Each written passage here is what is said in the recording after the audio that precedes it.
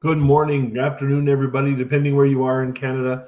Um, my name is Ken Coates. I'm a Munk Senior Fellow at Macdonald-Laurier Institute, uh, responsible for our program in Indigenous uh, Indigenous Canadian policy.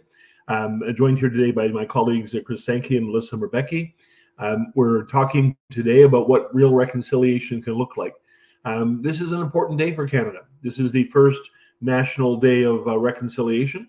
Um, the first time ever in Canadian history we've taken a day and made it into a national holiday, uh, designed to sort of focus on the injustices and the mistreatment of Indigenous people over the last 175 plus years. Um, it is an important time for Canadians to reflect, and this contribution, this conversation today, is is the effort of the Macdonald-Laurier Institute to be part of that that important important conversation.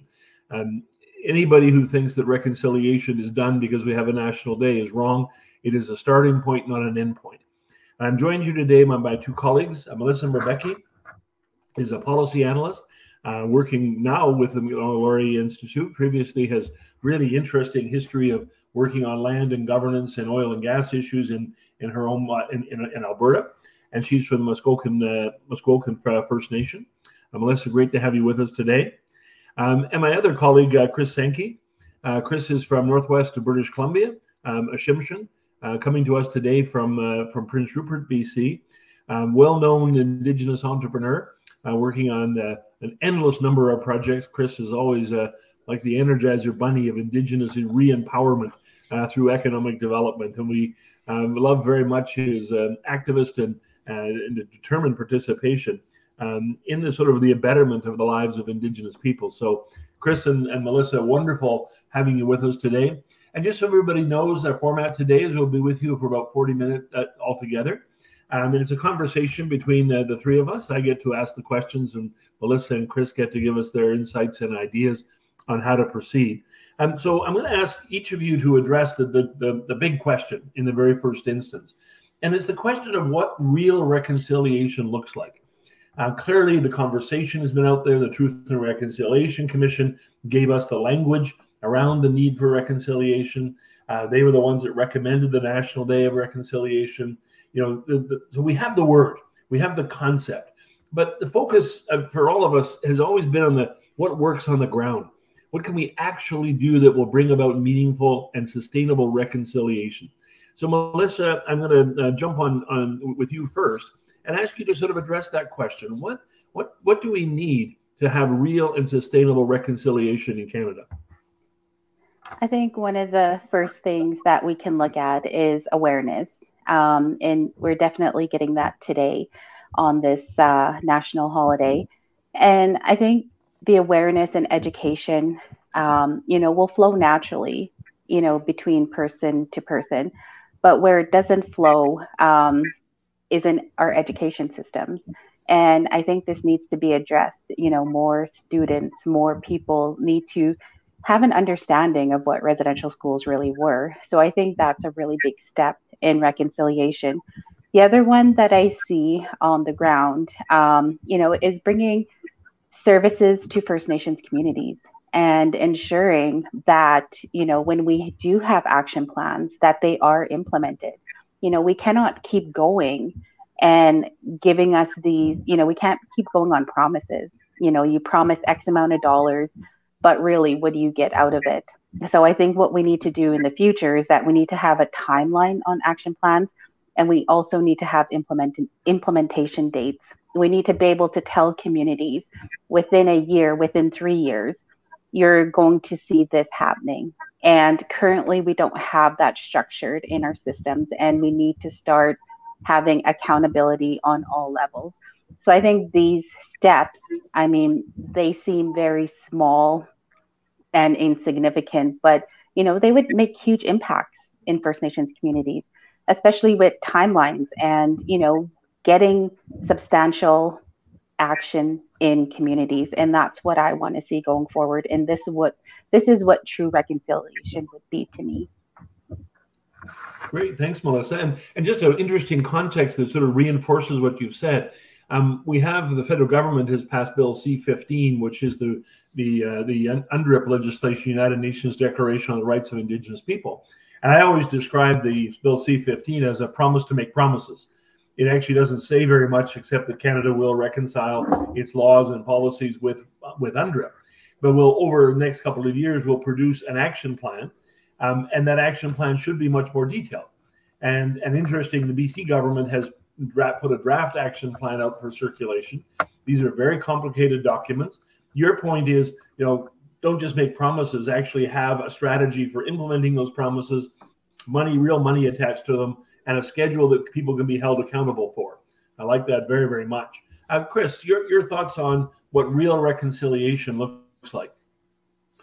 Well, I mean, today is a very good start on on recognizing the, our, our shared history. I think that Canadians uh, are starting to uh, come to grips of the reality of what's happened to us in the past.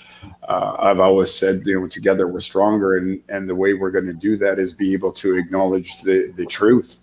And once we start to acknowledge the truth in our country, that we could find a path forward by working together. And I think, I mean, Melissa hit right on the button. I, I think that one of the areas that are, is still lacking, even though there's been significant work done, is our education system.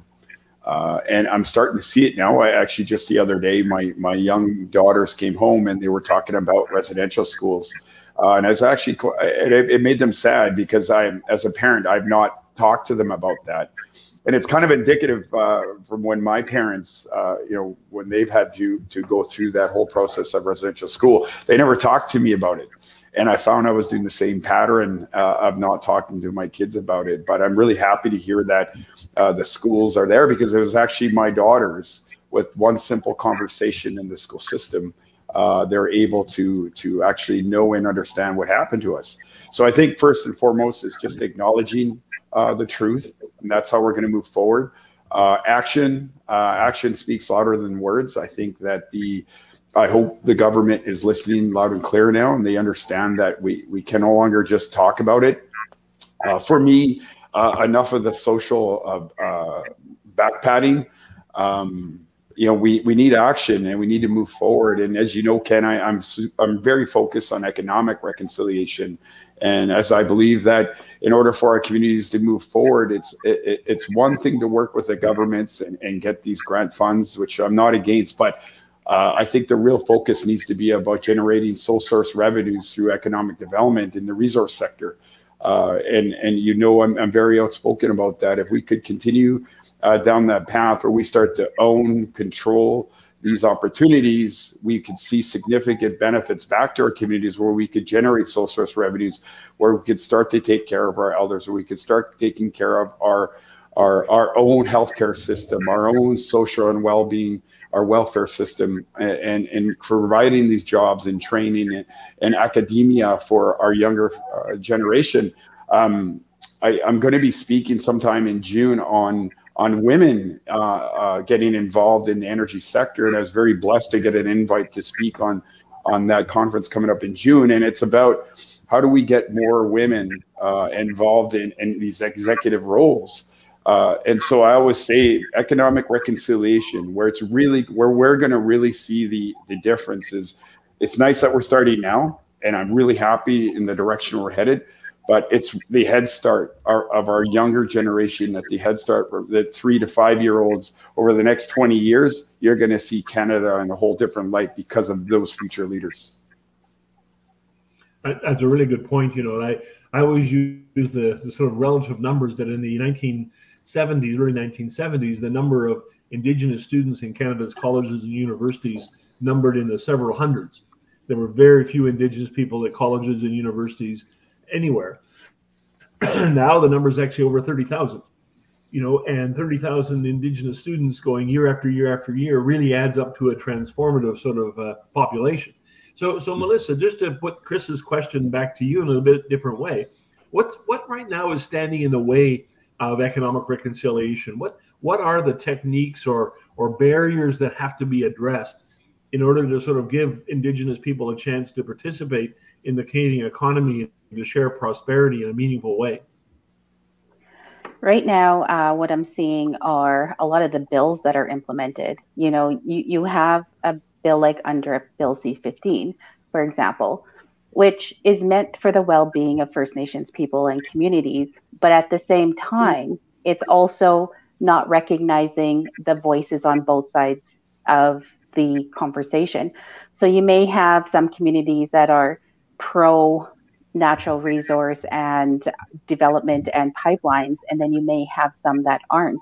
You know, both sides of the equation, um, you know, the voices need to be heard. You can't just hear one voice and make your decision um, from that one loud voice. There are community members that aren't being heard. And I think what this bill does is it, it kind of divides communities, you know, and that wasn't its intention. The intention of it was to bring future and further well-being to these communities and that meant you know economic development then each community has a right to choose how they want to sustain and build this um, and build their communities up so whether a community is fishing whether they're um, you know looking at logging they have a right to do this you know as long as they're taking all the considerations uh, environmental concerns they're taking all of that into consideration and making a decision based off that, well, that voice matters. And sometimes I find some of these bills, they shut certain people out. Another bill that, you know, we can look at nationally is Bill C69. You know, after most of these projects, they take years, if not decades, to come to a decision and for the consultation to happen. It takes years to bring communities and people on board what this bill can do is it can come and stop that project right there. And that is not fair to future projects. And that's not fair to existing projects that have been canceled. So it's bills like these that put, you know, a lot of it, hard work basically in the garbage. You know, and we deserve a lot better. Canadians deserve a lot better. And we need to start coming to the table federally, provincially, and from a reserve level so that we can come to, you know, we can come to an agreement on these issues. Until that happens, you know, we're going to continue to see stalls, projects stopped, projects canceled. So we need to start looking at this today and we need to start coming up with solutions. Well, thanks, Melissa. It's interesting. A, a recent study was done about asking Indigenous people in Canada about whether they supported resource development that was properly done, by which they mean consultations and appropriate compensation and, and returns to the Indigenous communities. And the survey showed that 65% of Indigenous people were in favor of properly done resource development. That flies very much in the face of what sort of the, the popular imagination might be that Indigenous people are unilaterally opposed to resource development. Some are, most aren't. And and in fact, if you do it properly with full, with full participation, you get some really interesting developments taking place. So, Chris, the same question to you. You know, when you say you, you want to have uh, own source revenues, you want the communities to be economically self sufficient. What's standing in the way? And what, what, in terms of both the public governments and the non Aboriginal population, do we need to do to make sure that prosperity is available to Indigenous people on their terms? Well, I mean, the, the bills itself is it, it can be extremely um, um, confusing. On one hand, we're saying we the bill UNDRIP is supposed to help us become self-sufficient, self-determination, so we could uh, look after ourselves in our own backyard. And then you got on the other hand, uh, I find that the bill is picking and choosing of what should be supported and what shouldn't be supported. And that's, as Melissa uh, stated, that's not what its intention was.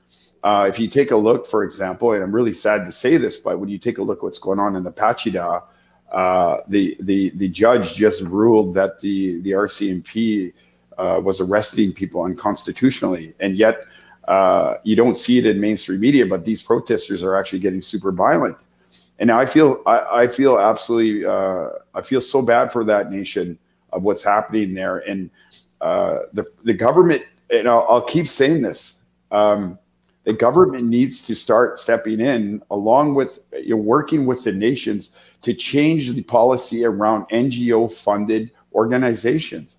Uh, I don't think it's right that um, we, we, we, we fight for 150 years to get to where we're at today, and we're still fighting for that right.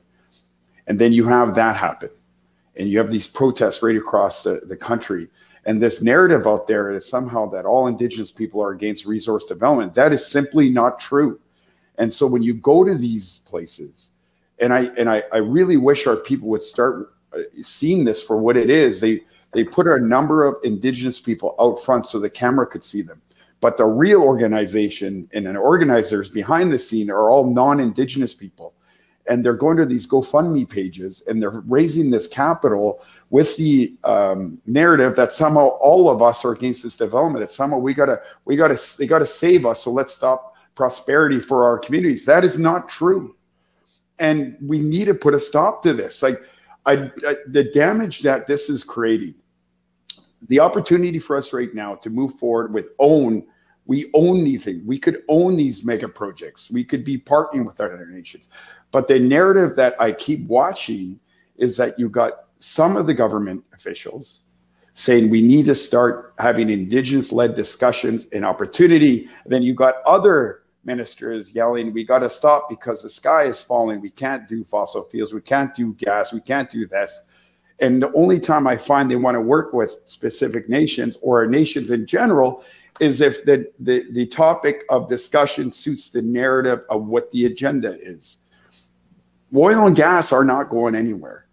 And the opportunity to look at hydrogen, I don't know enough about it. I'm learning more about it. But the opportunity for First Nations to take control of whether it's oil, gas, fish, forestry is now. And, and I believe these organizations uh, with I think they they started off with good intentions, but now it's gone so far to one side that the people that are getting lost in these opportunities that are the ones that are going to suffer the most is our people. And we fought so long and so hard to finally come to the table and really have meaningful ownership, only to watch what's unfolding in this country. It's actually very sad. So we got to change that. We need to change it now because more and more people uh, in our communities are they're the ones paying the price. Thanks, Chris. Um, that's really an interesting perspective from both of you. And and for those of you that aren't familiar, what Chris was talking about is the conflict over Fairy Fairy Creek, which is an old growth forest development being done on, on the in the middle middle part of the of Vancouver Island. And the odd situation there is that if you look at particularly the international media, it's being presented as a indigenous people against logging. If you look at it more locally, the indigenous people are working with government and the companies quite closely, and they're they're actually being shunted to the side, and it's their economic development that's being held up. And so the kind of conflict you're talking about really reflects a long-standing pattern, and that is is that you know non-indigenous people use indigenous people for their purposes. So when it suits, you know, that we're going to protect this on behalf of indigenous folks. Well, as you point out, and Melissa points out, indigenous communities have their own sort of value system. Um, let me talk a, a different different tact on a different different aspect of reconciliation when you look at almost any study that's been done, uh, the boil watery advisories, which is a big issue for Melissa, and she's written about it very extensively, housing, uh, roads on reserves, fire protection on reserves. These communities are way, way below the national standard. You know, some of the communities have their own money and they've invested very well and they, they're doing better, but many of them are in really difficult circumstances. Um, do you think Canadians are prepared to spend the several hundred billion dollars necessary uh, to bring Indigenous communities up, not to great heights, but simply to the national standard in terms of the basic infrastructure and basic facilities. Melissa, what are your thoughts on that? How how eager and how willing are Canadians, in the spirit of reconciliation, to do what is the most fundamental element, and that is to guarantee Indigenous people the same quality of services that the rest of the country takes for granted? I think when Canadians look at the infrastructure on reserves, many are quite surprised at how um, how below um, you know the national average they are. When people have to boil their watery water, boil their water, sorry, and they're living under advisories for decades as opposed to days, this is this is concerning. Um, and I think what they're starting to realize is that you know, if we don't address this today, we're going to have bigger issues down the road. You know, what's going to happen in five years from now? What's going to happen in 10 years from now? A simple fix to a water filtration system, a, a plant, you know something that that could be fixed today and within a month for example. You know if, if it goes un unchanged for a year that's going to cause the whole system to collapse. So we might have had a fix that costed $5000 a year from now that same fix could be $60000 you know so we have to start thinking of what's cost effective we have to start thinking of you know this is impacting people's health you know, this is something that regular Canadians take for granted every day. You get to go to your tap and drink clean water, cook and clean. There are communities that are only allowed a liter, a liter and a half of water every day. You know that that's that's the amount of water that we should be drinking, but they have to ration that for cleaning. Um, they have to ration it for cooking. They have to ration that water, and that's if this was if this was happening in a third world country, you know, there would be an outcry. There, why is this happening? We're not living in a third world country. We're living in a developed nation where water is abundant. So this should not be happening today. And when we look at issues like housing that have mold in them, you know, h- how many years before that house is condemned? You know, so we need to start addressing issues before First Nations people become homeless and we don't want to see that happening. You know, we've seen communities that had to get evacuated. How much did that cost taxpayers? You know, as opposed to fixing the problem. So we have to start thinking long term and we have to start fixing things today before they turn into bigger issues down the road. And I think Canadians are starting to see that. And, you know, we're starting to see a lot more advocacy out there for basic infrastructure. We're not even talking about nice to haves. We're just talking about basic standards of living. And it's actually quite sad what we're what we're experiencing and what people in our communities are living in. I well, I could not agree more, and I think it's it's a stunning sort of reality. These are not things that we've discovered yesterday. We've known about the infrastructure deficits for decades, and we haven't done much about it.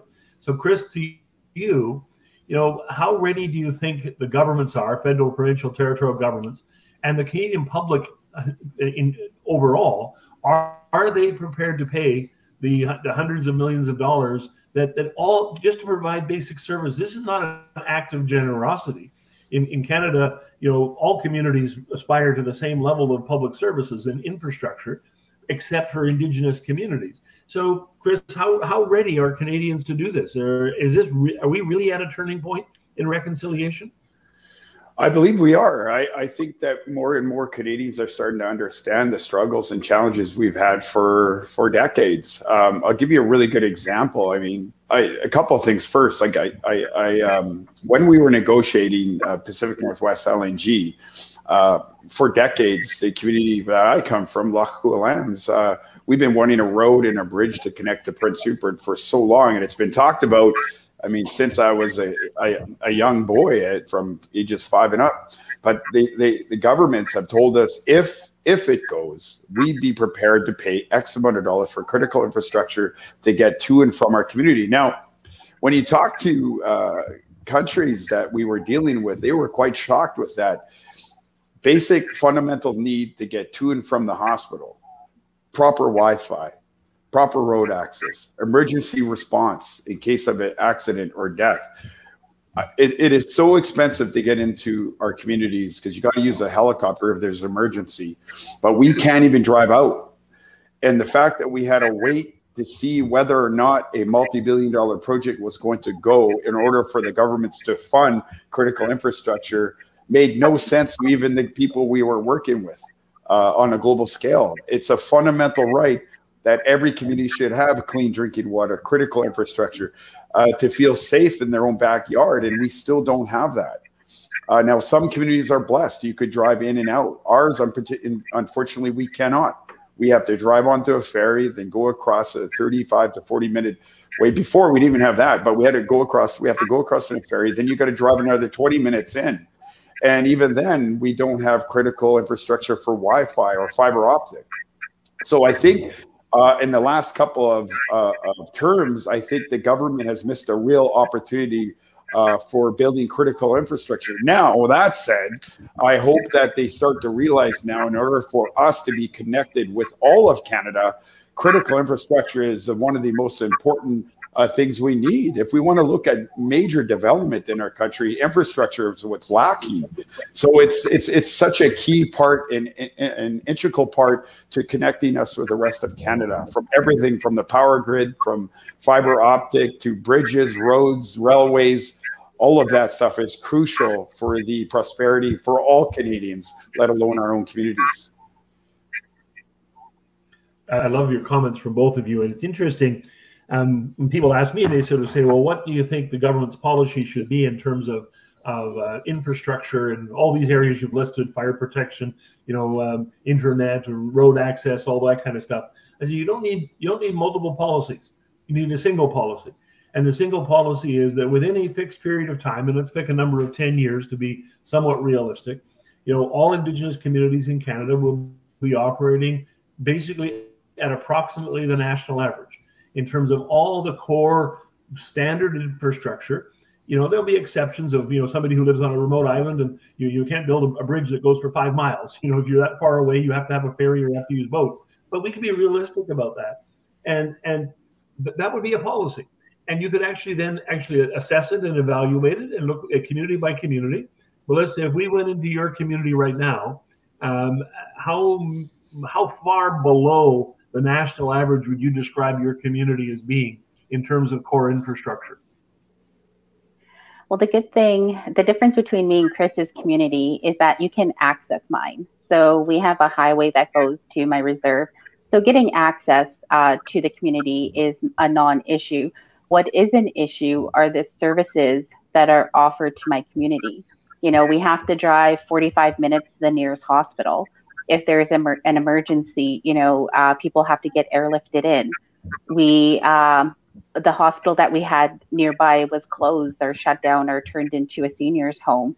So we don't have, we don't have the services for our people. We do have a couple nurses that come out to our community, but we don't have a fixed, um, you know, fixed healthcare system. So everything is done in a remote way. So doctors visit us every so often, nurses come in every so often. Um, you know, and this was beneficial during COVID.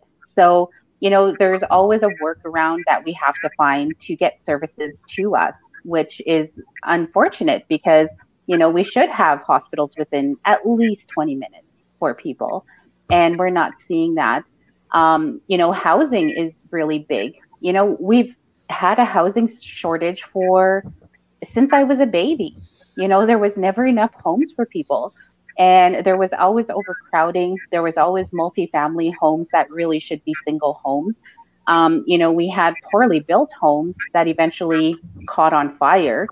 You know, so there's a lot of, um, I'm going to say, a lot of work that needs to be done in terms of building long term sustainable homes and infrastructure for our people. Now we did get Wi-Fi not that long ago, so we are connected to the outside world. Um, you know, so there's, I mean, we have a lot to do, but we are fortunate with what we have. And this is the ideology of most communities out there. We're just happy with what we have, even if it's below par. And in terms of infrastructure, I'm going to have to say we're definitely below the national average. Um, I would probably say, you know, we're even in the minus at this point because not everybody has a home and we're using trailers to house people. Trailers, like not not mobile no, not mobile trailers. I'm talking about the trailers you see out in remote camps. Like that's what we're using for housing. So we hmm. definitely need improvement on hmm. that. Thanks, Melissa. And I, one of the things I always find fascinating when we talk about these ideas. We forget that Canada is one of the wealthiest nations, not just in the world, but in the history of the world. You know, there's a, a recent report just came out that essentially said that Canada was the number one country in the world. And, and you know they look at about 15 or 16 different categories everything from education and healthcare and democracy and all that sort of stuff and there we are right up at the top and depending on how you count you know obviously norway sweden and finland denmark often come off in, the, in really high switzerland as well but you know, Canada's rarely outside the top five or six, and our major cities are are constantly rated as being in, in the in the top 20 major cities in the world for Toronto, Vancouver, and, and, and Calgary, Montreal. We do really well as a nation. And for some reason, we have this roadblock in our minds about saying, well, for Indigenous communities, you can't do better. And I've had the really good fortune of spending a fair bit of time in northern Norway, Sweden, and Finland in the isolated communities, not in Oslo and Helsinki and places like that, but actually, you know, way up north in the in these isolated locations that are several hundred kilometers from a major city. They have paved roads. They have high had five years ago high quality Wi-Fi. They have fresh water. They have doctors and nurses living in the towns. All these things are are uh, uh, we can address them. We can deal with them fairly fairly systematically. Let me ask a question, if you don't mind, in a, in a very different way. And this is not to take anything at all away from the residential school issue, which is obviously what got the country's attention. And, and we got the attention through Truth and Reconciliation Commission. Really tragically, we got attention this summer with the, the sort of the conversation and discussion about the unmarked graves. For some reason, that really got the attention of non-Indigenous people, sort of in their hearts for the first time. I think all the other discussions they were conceptual, it sort of worked in people's brains, but this last summer really seemed to move Canadians in other sorts of ways. But my, my question to you is, is is it all residential schools, or are there other historic flaws in in our country that have contributed to the marginalization of Indigenous people and the poverty and the suffering that sort of goes with that? You know, what what what else what else is there? And I'll tell you, I asked the question because I worry that that people sort of focus on residential schools and think, well, we're going to address that issue for that group of survivors. And we're not looking at the other broader issues, which actually had an effect on many more people. So, Chris, this time I'll go to you first, if you don't mind. Um, you know, so are there other issues out there, other problems, other policies, other questions that we should be sort of factoring into this discussion about reconciliation? Yeah, I mean, it's you hit it. It's policy and legislation. Uh, we're really going to change the way we do things in this country, policy and legislation's got to change for us as well. Uh, it, it, I mean, it, it's no secret that you know we can't even vote for our national chief, but the elected chief of our respected communities can. I could vote for the prime minister of Canada, but I can't vote for our national chief. Uh, so it determines. So about 650 leaders determine who's going to be our national chief. I mean, I don't. That's not democracy. I mean, it's just crazy, and the fact that they came up with that that system is just it's nonsense. But anyways, uh, at the end of the day, uh, I mean, look, um, uh, we got to move forward, and the only way we can move forward is if government starts kind of you know getting out of the way and start working with us and supporting us in our initiatives. I keep going back to economic reconciliation because that's going to solve so many of these issues that we're talking about today uh, it, what what this pandemic has really showed me is that uh, how quick money could get thrown or pushed out the door to get things done. So when someone tells me that it can't be done, or if you're going to use a pandemic for a reason to get it done, that's nonsense if you could get money out the door this quick, you could get money out the door just as quick to get critical infrastructure for our communities to correct us with the rest or to connect us with the rest of Canada. There is no excuses for that. If, if anything that I've learned from this, we is know that we could do this thing in a timely manner. And that not only helps our communities, but it helps broader Canada. I mean, there's this there's this challenge out there of what how do we how could we do this? Well, give us you know, we have the tools to do it. We just need the support uh, to go forward with it. The money is there. Big business wants to invest. We have an opportunity to move these things. We just need to get out of our own way and have government support us. You know, and at the same time, uh, we also got to take responsibility in the matter and really be more aggressive about what it is that we want to see. And I always tell our communities that we got to we got to be more aggressive about ownership in this stuff and really look at sole source revenues and go back and use your own capital to start buying back our own fee simple land. Don't wait for the government. I'm not saying not don't work with them, but don't wait for that. If you got the capital, my advice to so many of the indigenous communities, go out and buy back all your fee simple land, even if it means putting it back into your territory. Because right now, Canada is losing land mass to build, and the only uh, lands coming available is indigenous land. Yeah. Fascinating conversation, uh, you two. You're always so insightful and so passionate about the both the well, the, some of the frustrations, but I'm so impressed with the fact that you never let the, the weight of history get you down. Um, you're both so optimistic about the fact that Indigenous communities are ready to take control of their future. So I'm going to ask you a blunt question, and Melissa, I'll start with you and then finish with you, Chris. Um, you know, 10 years from now, uh, in 2031, uh, will reconciliation have happened? Um, if you look at where we are right now in 2021, we're making all these commitments to reconciliation. Melissa, in the next 10 years, how much do you realistically think will be done? So I have two answers for this. Um, my first answer is if we continue going down the same path that we are today, reconciliation is not going to happen. You know, we need change. We need to change the way our federal and provincial governments connect with us. We need to change, you know, even our internal governance system within our reserves. We need to look at what what hasn't worked in the past and what could work going forward.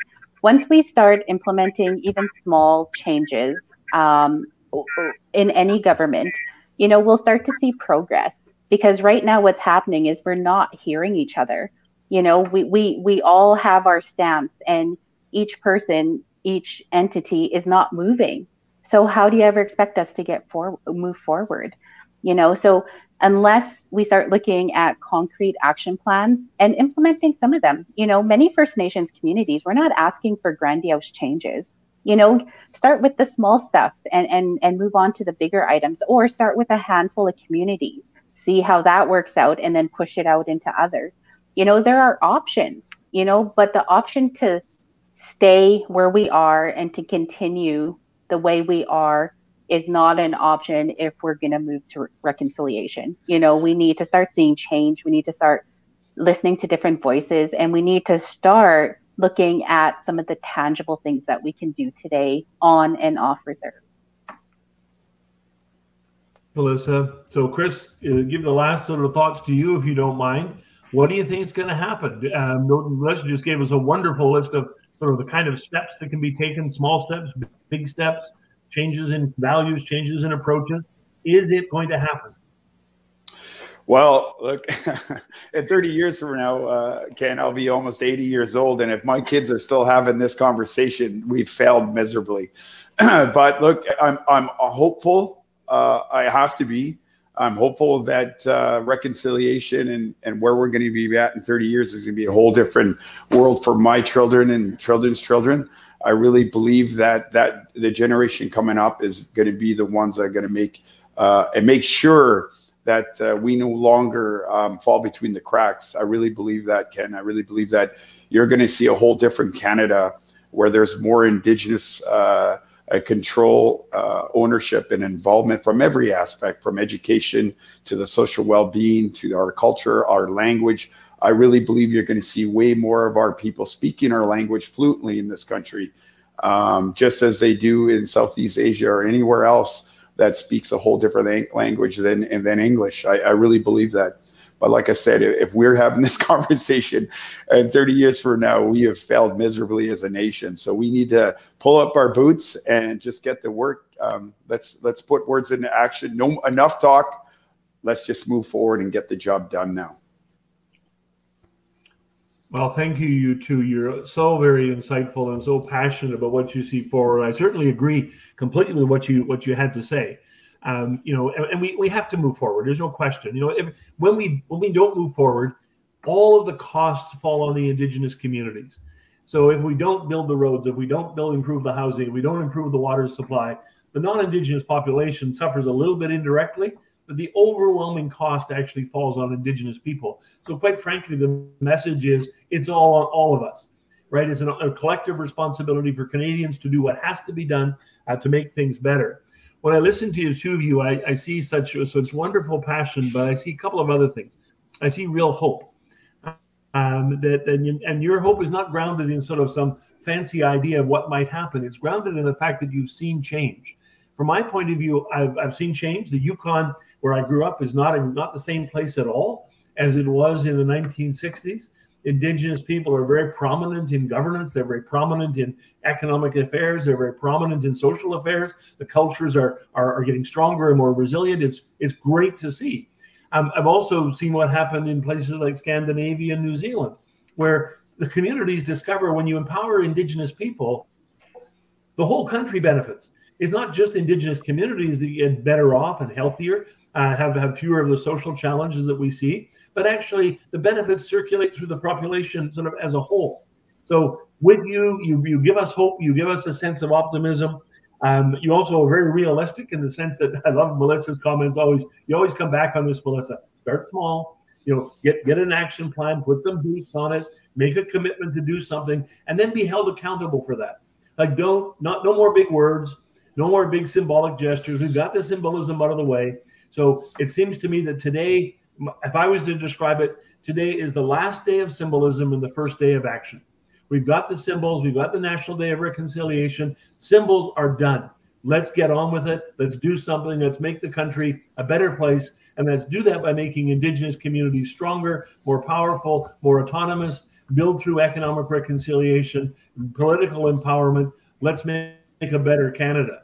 Uh, you two are just fabulous. Thank you very much for being with us today. We're going to do this again very shortly. Uh, on behalf of the Macdonald-Laurier Institute, I'm, I'm, Ken Coates, a Munk Senior Fellow with the Macdonald-Laurier Institute. I'm delighted to have Chris Sankey and Melissa Mbarki with us today, um, recognizing and honoring this National Day of Reconciliation. And like I say, the last day of symbolism, the first day of action. Thank you, Melissa, and thank you, Chris. Thank, thank you. you.